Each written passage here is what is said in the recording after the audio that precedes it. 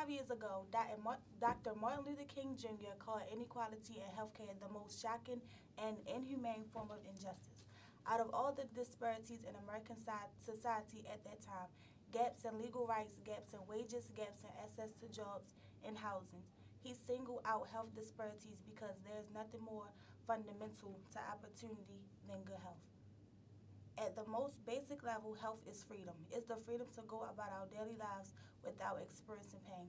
It's the freedom to live long enough to achieve our goals and to get to know our grandchildren.